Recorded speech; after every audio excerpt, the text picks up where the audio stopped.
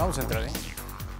Y bien, auditorio, estamos platicando con los familiares de cuatro profesores detenidos hace exactamente tres meses en un operativo que realizaron autoridades federales y estatales, profesores que no quedaron internados en reclusorios del estado de Oaxaca, aun cuando los delitos se cometieron, o los presuntos delitos que se les imputan se cometieron en esta entidad. Ellos deberían estar, como ya lo han mencionado, tanto sus, eh, sus madres de los profesores como la, representante legal de la sección 22 deberían estar internados en reclusorios de Oaxaca, sujetas a estos procesos que siguen y que, eh, y que están en manos precisamente de jueces de Oaxaca.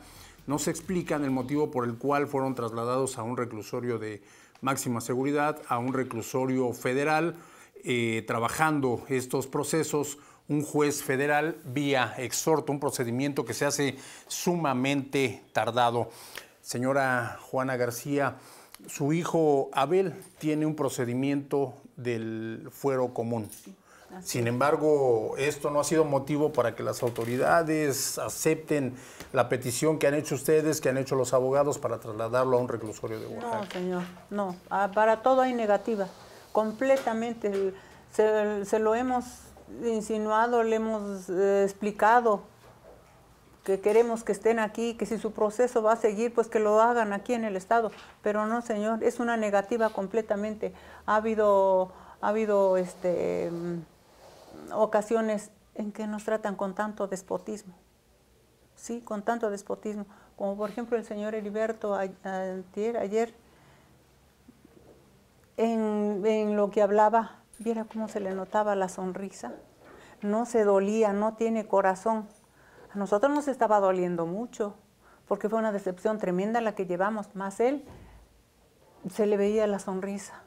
Gozan, gozan con, con la este gozan con el sufrimiento de nosotros y ellos saben perfectamente bien porque como se les dijo, ellos saben que son inocentes porque no son culpables si ellos son unos este, son unas personas que, que son profesores, este, se lo llevaron nada más por defender sus derechos.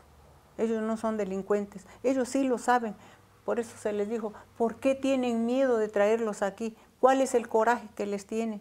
Pero no, nada más la única explicación que da, porque no hay cupo y que no hay cupo y que pues hay que veremos cuando se termine, que se está terminando un hospital, un este un ceferezo, se está terminando ese ceferezo. Todavía se le dijo, y cuando se termine ese ceferezo, ¿cuándo va a ser? ¿Quién sabe cuándo o cuánto tiempo va a durar? Después se traen a otros presos de otros lugares, como ya los han traído, los llenan y los de nosotros pues se siguen quedando allá.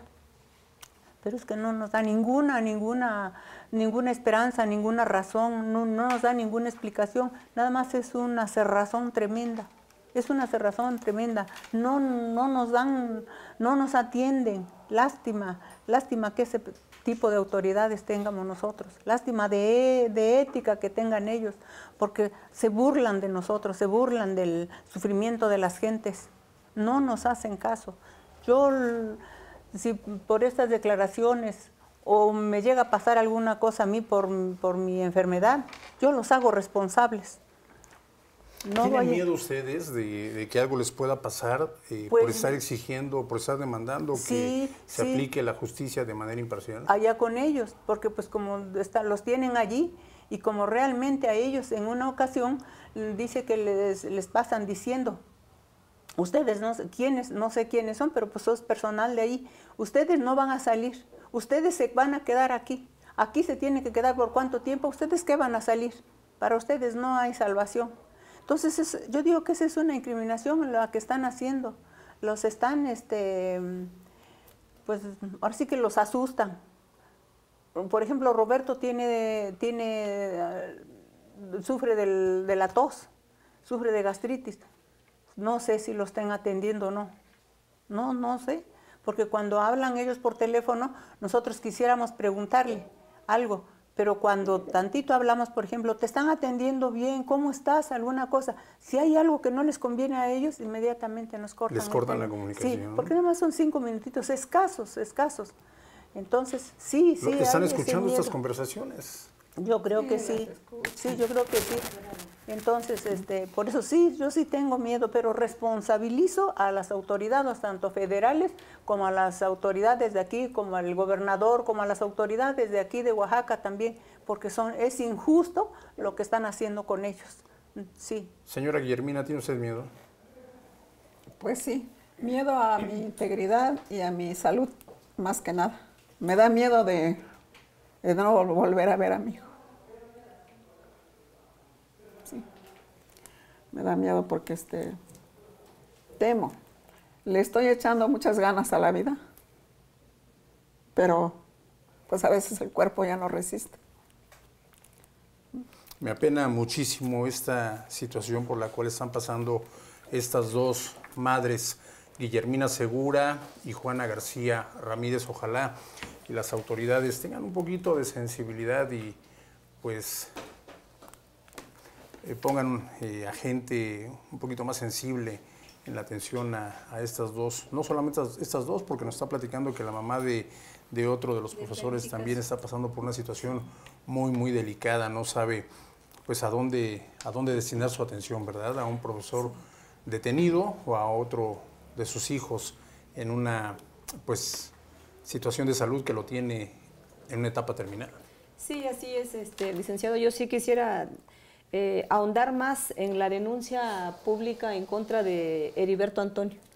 Este es Hemos hablado de, Heriberto Antonio, pero ¿quién es Heriberto Antonio? ¿Qué cargo, ¿Qué cargo tiene? Heriberto Antonio? Actualmente es el director general de reinserción social, que pues depende de la Subsecretaría de Prevención y Reinserción Social, dependiente de la Secretaría de Seguridad Pública.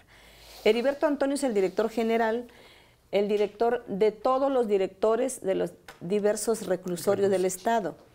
Por eso es nuestro, nuestro señalamiento directo a, él y se pide la destitución inmediata de este funcionario al cargo que ostenta, toda vez que está siendo, que está abusando del poder que tiene, que está siendo, que está eh, provocando una omisión a su función encomendada como funcionario que tiene, ¿sí?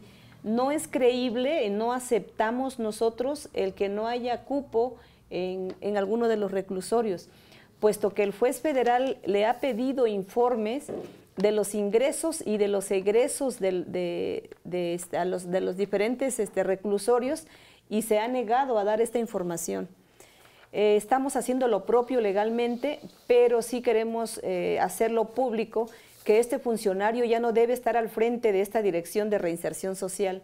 Es atentar contra los derechos de, los ciudadanos, de los procesados, de, llámense eh, procesados, llámense sentenciados, todos tienen derecho a una, a una defensa, a una adecuada defensa. Y ahora nos damos cuenta por qué muchos, o la mayoría de la sociedad dice las cárceles están llenas de inocentes. Nos damos cuenta por qué. Y ahora que estamos viviendo de cerca todos estos obstáculos que nos pone Heriberto Antonio, nos atrevemos a decir, este funcionario no debe estar al frente de esta, de esta dirección y seríamos cómplices si nosotros no pedimos su salida inmediata de esa dirección. Oiga, licenciada, cuando usted me comentaba que solamente les han permitido una sola certificación de lesiones, ¿este es un trámite de cuántos que han realizado ustedes desde hace tres meses? Se realizaron, sobre todo en el expediente 209, se han realizado, este, se han promovido varias diligencias. Tengo que decirlo que ahí la, la juez también está siendo cómplice de este, de este tipo de arbitrariedades, la juez Gabriela, Graciela Maldonado, ella es la titular del, juzgado primero de lo penal. Todo objetó, todas nuestras pruebas objetó, promovimos un incidente no especificado ahí para el traslado, nos los negó también con un documento poniéndose de acuerdo con, ahora entiendo, con este Heriberto Antonio y con el director de Santa María Santa Hotel para mandarnos este documento el 5 de noviembre, donde dice que se niega la anuencia de cupo.